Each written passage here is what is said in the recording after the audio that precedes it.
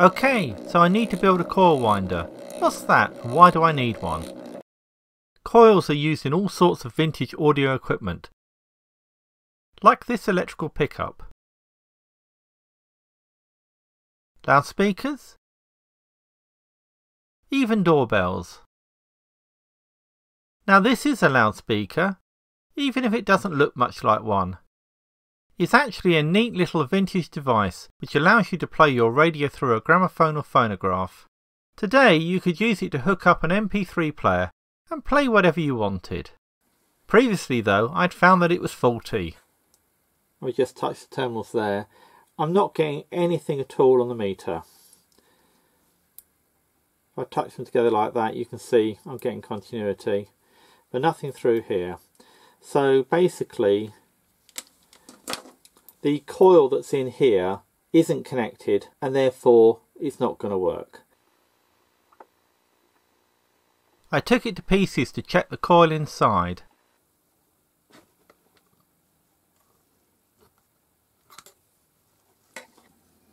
It's actually two coils.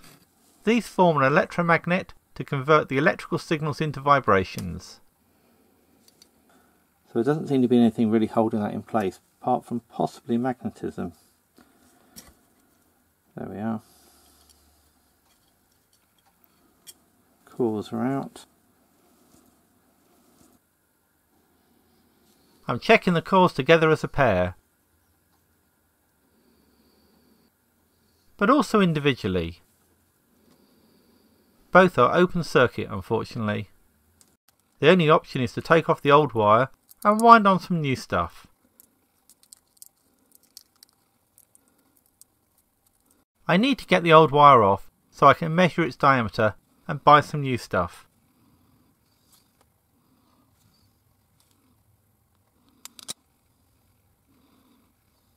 The wire is very thin and measures about 0.07mm with a micrometer.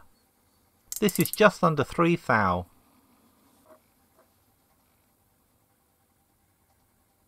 I think it might take ages to get off by hand.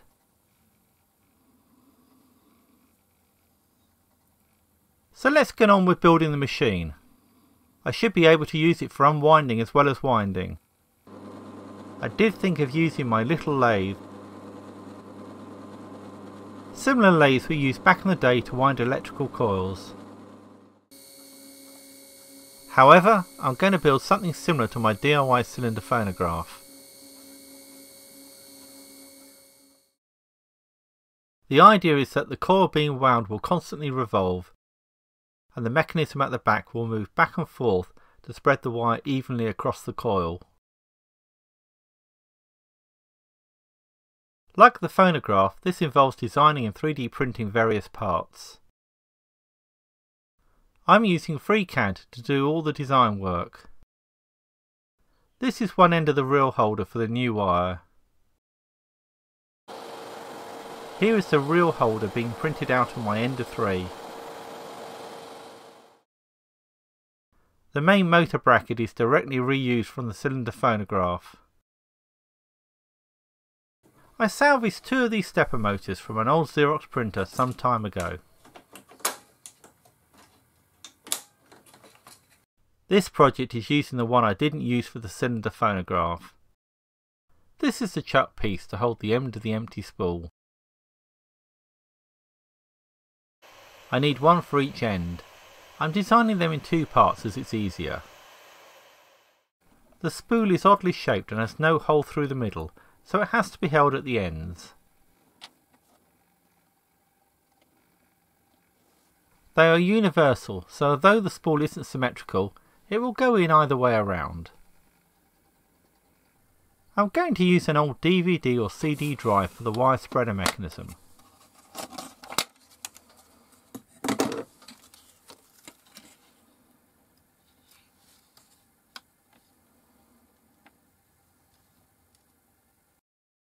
This has its own built-in stepper motor.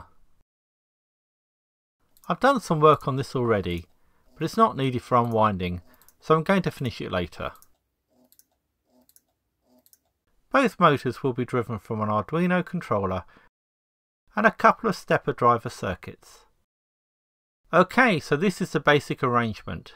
It's really like a lathe with a headstock and a tailstock. So now, time to load the first spool from winding. A little bit of double-sided tape will help to hold the ends in place.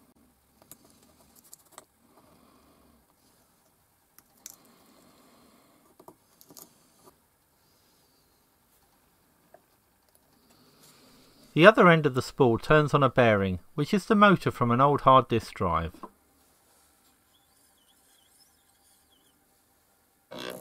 So now I can start removing the wire properly. The wire does get caught up a few times, so I have to keep stopping and restarting.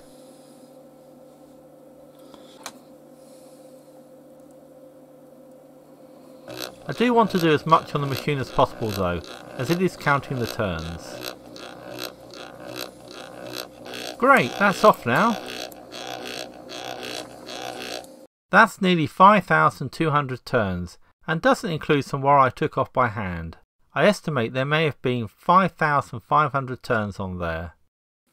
Now the wire is off, you can see it was joined to a thicker connecting wire, the join being insulated with some sort of tape.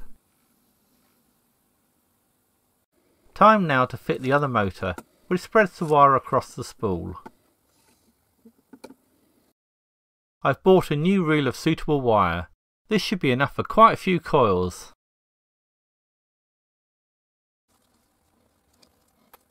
Just need to put the reel holder together now.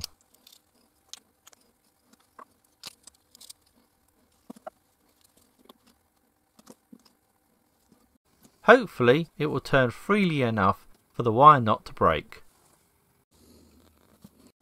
Just before I continue, I'm going to clean the rust off the spool with some metal polish.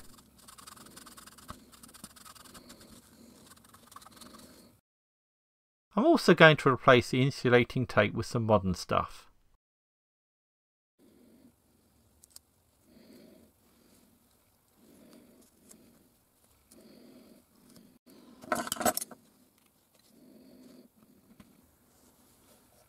Now time to thread the machine up.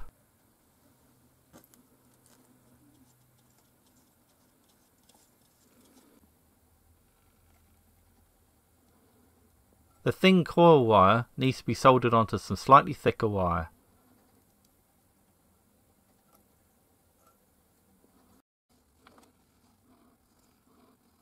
This thicker wire goes onto the spool first and out the edge.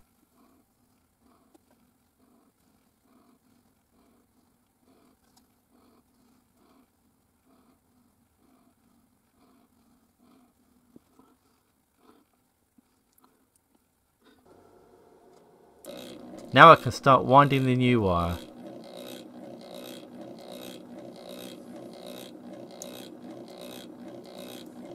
That seems to be working.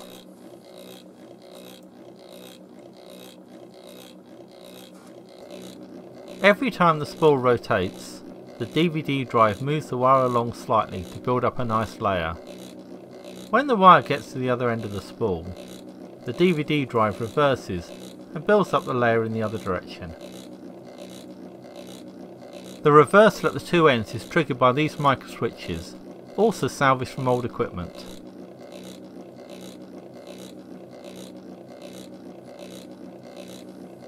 The two screws here will allow me to fine tune when to reverse the direction, but it seems to be fine the way I have it set now.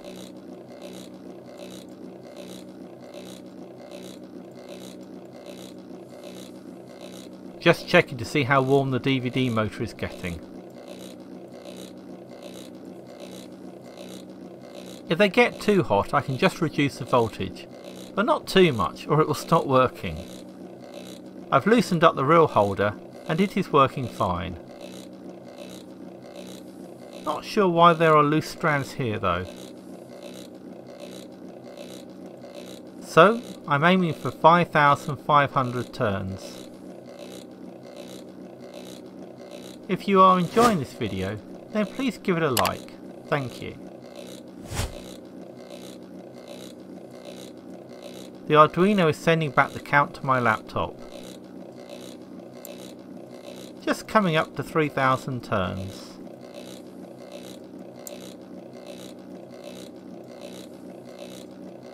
Coil is looking good too. Still a bit worried about those loose strands. Now 4,000 turns.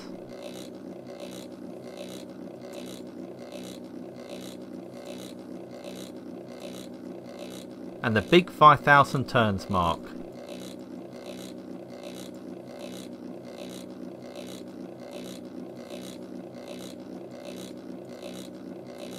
Okay, so we have stopped as the wire's broken. Not quite as many turns as intended, but probably enough.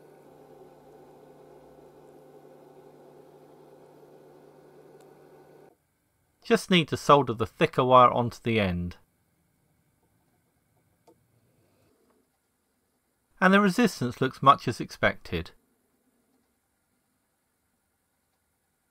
Right, I've got both of them wound now, so just fitting them back in the needle phone.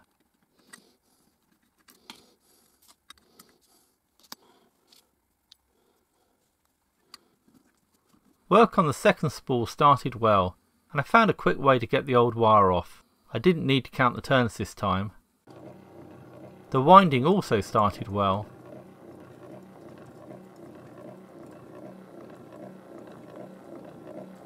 But the wire broke quite soon, so I had to solder it together again.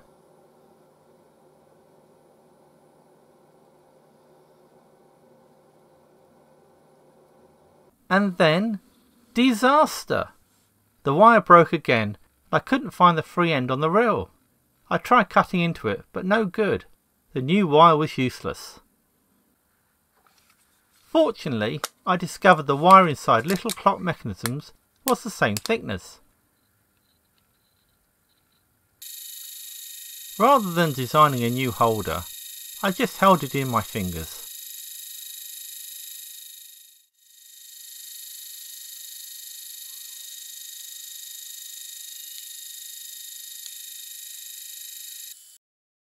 One clock reel wasn't enough though. Fortunately, I had a second one.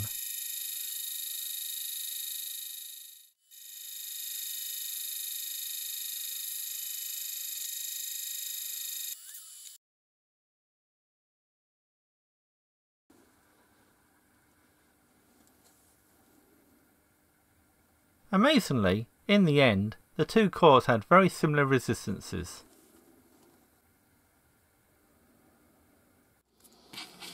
So do the coils work?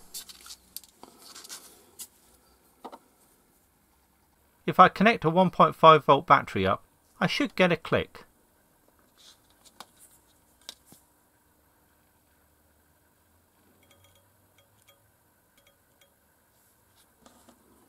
Both coils work independently